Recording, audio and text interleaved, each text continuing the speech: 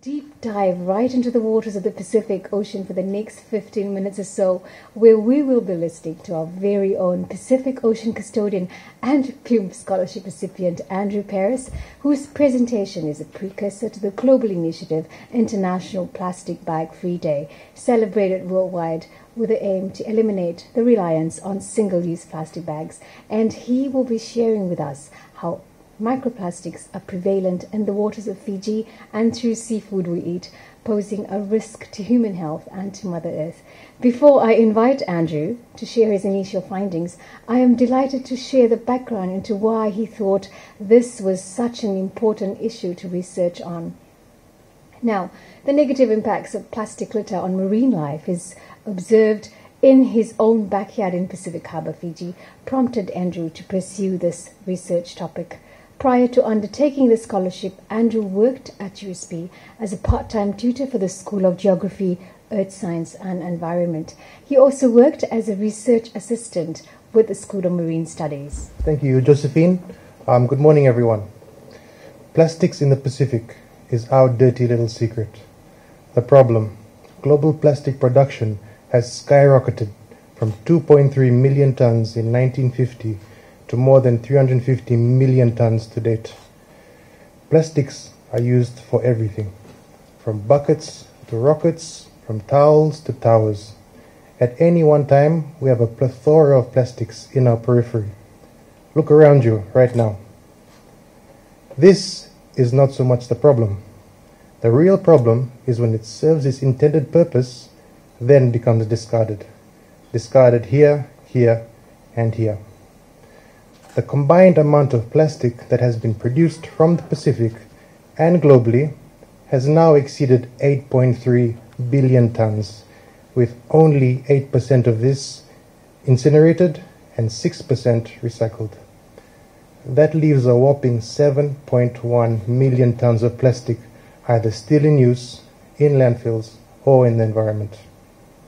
Unfortunately, a total of around 150 million tons of plastic that you and I use have already made it into our oceans.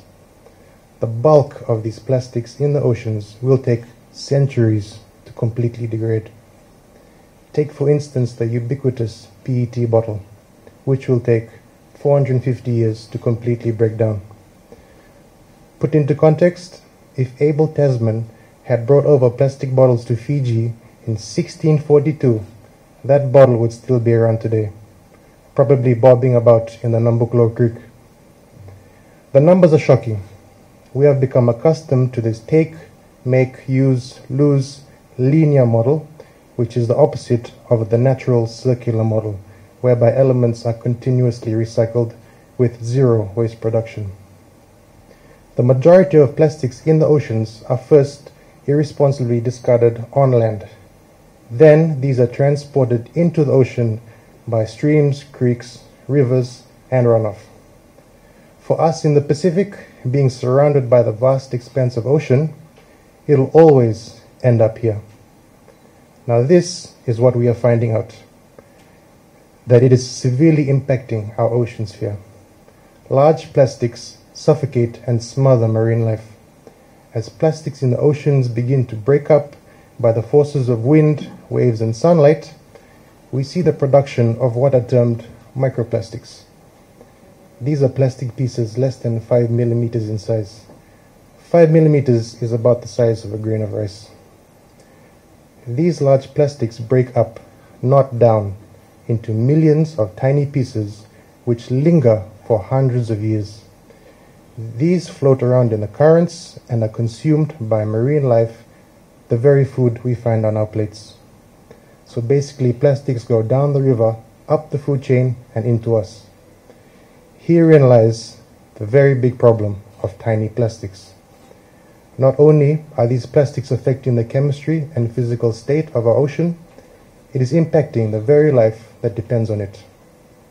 Plastic pollution is known to harm the fertility, growths, and survival of marine life. Apart from this, microplastics are known to accumulate harmful toxins while floating around at sea. This is what is called the Trojan horse effect. Microplastics is the Trojan horse, and harmful pollutants are the stealthy Greek assassins. Now, this has far reaching implications for all manner of marine life, from bacteria to blue whales. Lab tests have indicated negative responses to the exposure of marine life, especially corals, which we in the Pacific rely on heavily for our sustenance. Picture a Pacific devoid of coral reefs. People of the Pacific will always be disproportionately affected by microplastics because we rely heavily on fish and seafood. Once again, here we are, on the front line of an environmental catastrophe, sadly, a position we are all too familiar with. Studies also now show that we can be consuming a credit card worth of plastic every week. However, we are yet to figure out the effects of these microplastics on us this is an emergent body of research. Although my gut feeling is that the results will be far from pleasant. Instead of a silver spoon, future generations will be born with a plastic spoon. Now, I'm not on to diet, but if I did, I would go on a plastic free diet. Microplastics are everywhere, including in our drinking water, table salt, honey, and the very air and beer that we consume every single creature on God's green earth is either exposed to or at risk of being exposed to microplastics. We find them everywhere we look. The other day I read that plastics are being found in the depths of the Arctic Ocean. I guess it's now official. Plastics have now reached areas where the sun doesn't shine. The Pacific is not immune to this plastic perversion. In fact, we seem to be complicit in being careless with our plastic management. A highly acclaimed study by Jambeck in 2015 placed Fiji seventh and Vanuatu second in the world in the amount of mismanaged plastic waste per capita. And consequent studies by the team at the School of Marine Studies at the University of South Pacific has documented high levels of MPs in the Suva inshore environment. These studies have laid the groundwork for further research and monitoring, really stressing the importance of increasing the scope of the research. You don't have to be analyzing water samples in the lab to realize the scale of the problem.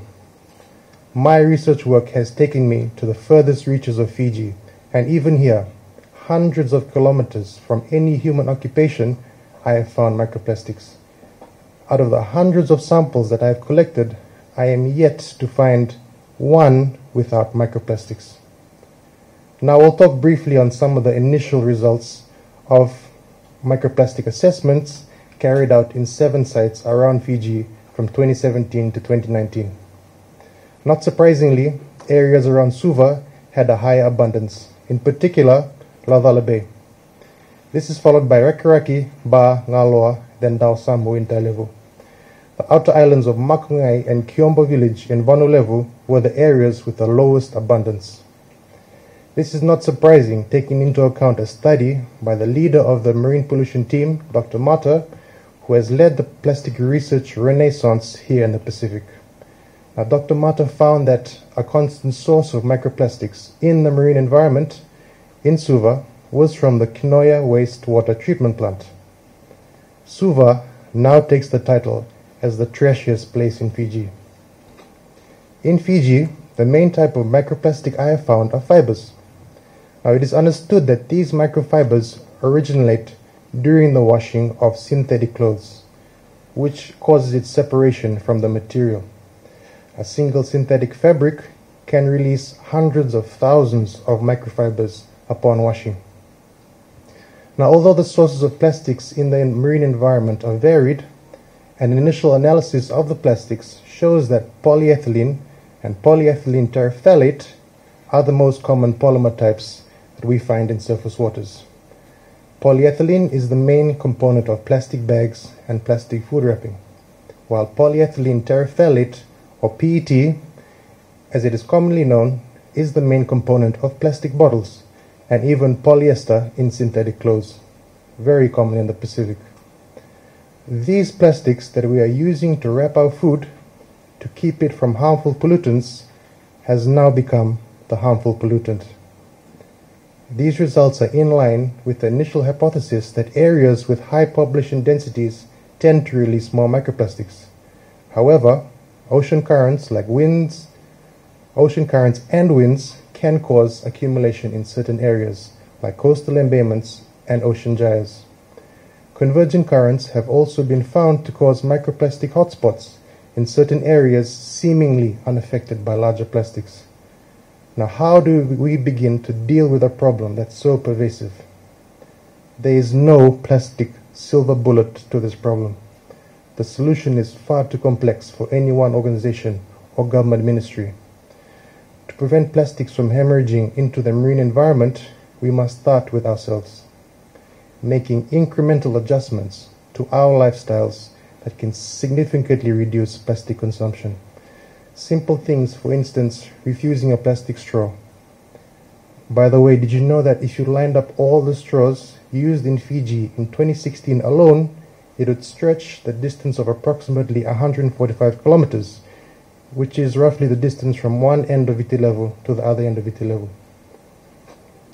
We could also reuse plastic bags and purchase cotton t-shirts instead of polyester.